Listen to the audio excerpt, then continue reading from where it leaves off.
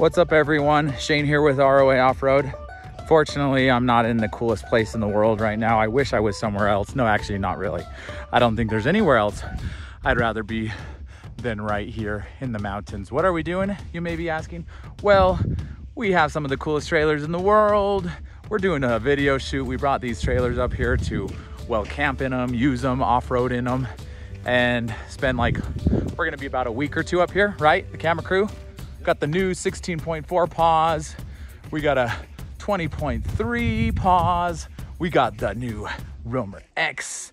People have been wanting to see that. We got the new 2024 Mantises. We got the Road. That's the ROA D edition. We're calling it the R ROA D, which is Road. We got a Pursuit. Oh my goodness, this thing is from outer space. And in an okay location too.